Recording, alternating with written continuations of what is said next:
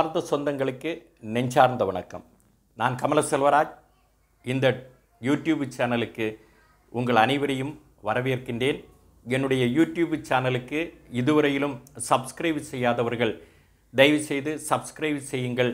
நான் புதிது புதிதாக வித்தியாசம் வித்தியாசமாக பதிவிடக்கூடிய வீடியோக்களை மற்றவர்களுக்கும் ஷேர் செய்து நீங்களும் பாருங்கள் என்று உங்களை கேட்டுக்கொண்டு இன்றைக்கு இனிப்பை கசப்பாக்கிய கொரானோ என்கிற பொருளில் இந்த வீடியோவை நான் பதிவிடுவதற்கு விரும்புகின்றேன். நாம் எல்லோரும் அறிந்தது திருநெல்வேலி மாவட்டம் என்றாலே அல்வா நம்முடைய நினைவுக்கு வரும். நினைவுக்கு வருவதல்ல நமக்குள்ளேயே நம்முடைய சாதாரணமாக சொல்வார்கள் அதை நினைத்தாலே வாயில் தண்ணி ஊறும் என்று சொல்வார்கள்.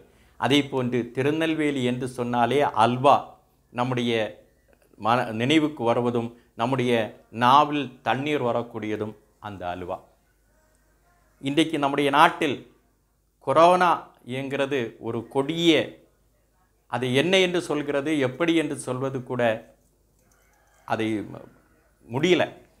அந்த அளவுக்கு நாட்டையே புரட்டி போட்டு இந்த உலகத்தையே புரட்டி போட்டு வேடிக்கை பார்த்து கொண்டிருக்கக்கூடியது இந்த குரானும் அல்வா என்று சொன்னால் கூட பல விதத்தில் அல்வாக்கள் இருக்கும்.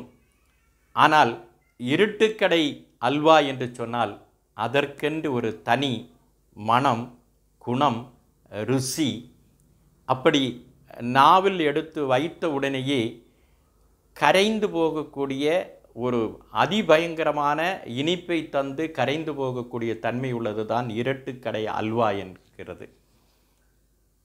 அந்த அளவுக்கு பிரசித்தி பெற்றிருக்கக்கூடிய இந்த அல்வா நூறு ஆண்டு காலமாக திருநெல்வேலி மாவட்டத்தில் பெயரும் புகழும் பெற்று இந்த திருநெல்வேலி மாவட்டத்திற்கே ஒரு அடையாளத்தை உருவாக்கி கொடுத்திருக்கிறது இந்த இருட்டுக்கடை அல்வா என்று சொல்ல அல்வா.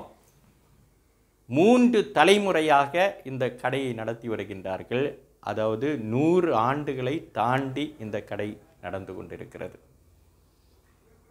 திருநெல்வேலி என்று சொன்ன உடனேயே இந்த நாட்டில் இருக்கக்கூடிய அத்தனை பேருக்கும் அது சுற்றுலா வரக்கூடியவர்களாக இருந்தாலும் சரி அல்லது விசேஷ அழைப்பாளர்களாக வரக்கூடியவர்களாக இருந்தாலும் சரி திருநெல்வேலியில் இருக்கக்கூடியவர்கள் எப்படிப்பட்ட பெரிய தலைவர்கள் விசேஷ அழைப்பாளர்கள் இவர்களுக்கெல்லாம் ஒரு அன்பளிப்பாக கொடுப்பது பொன்னோ பொருளோ ஆக இருக்காது.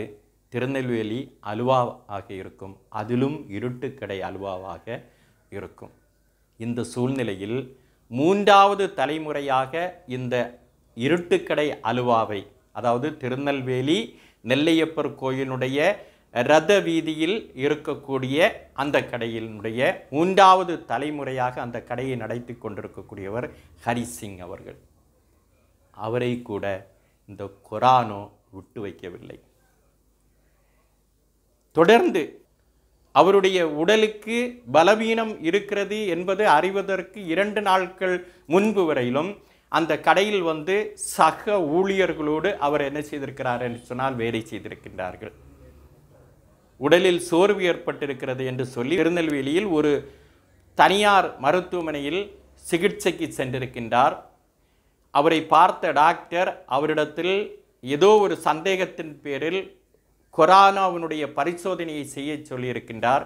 பரிசோதனை செய்த உடனேயே அவருக்கு கொரோனா தொற்று இருப்பது கண்டறியப்பட்டிருக்கிறது. அந்த தகவல் அறிந்த உடனேயே அவர் நிலைகுலைந்து போயிருக்கின்றார். ஏனென்று சொன்னால் இரண்டு தினங்களுக்கு முன்பு வரையிலும் அவர் கடையில் சென்று வேலை செய்திருக்கிறார். எத்தனையோ அவருடைய கடையில் பல ஊழியர்கள் இருந்திருக்கின்றார்கள். கூடவே எத்தனையோ நூற்றுக்கணக்கான ஆயிரக்கணக்கான மக்கள் அந்த கடையில் வந்து அல்வாவை வாங்கி சென்றிருக்கின்றார்கள். அந்த கடையில் சென்று அல்வா வாங்குகிறது என்பதே பல மணி நேரம் காத்திருந்தால் தான் வாங்க முடியும். ஒவ்வொரு நாளும் ஆயிரக்கணக்கான மக்கள் அல்வா வாங்கி கொண்டு போயிருக்கின்றார்கள் அவருடைய மனதிற்குள்ளே ஒரு எண்ணம் வந்திருக்கிறது. எனக்கு இந்த தொற்று வந்திருக்கிறது என்று சொன்னால் அந்த கடையில் இருக்கக்கூடிய ரெண்டு ஊழியருக்கும் ஊழியர்களுக்கும் தொற்று வந்திருக்கிறது. மற்றவர்களுக்கும் வந்திருக்குமே என்கிற ஒரு ஐயப்பாடு ஒரு அச்சம் ஒரு ஒரு பயம் அவரை தாக்கி இருக்கிறது. எனவே என்ன செய்திருக்கிறார் என்று சொன்னால் அவர் தங்கி இருந்த அந்த மருத்துவமனையிலேயே தனியார் மருத்துவமனையிலேயே தூக்கு போட்டு தற்கொலை செய்திருக்கின்றார்.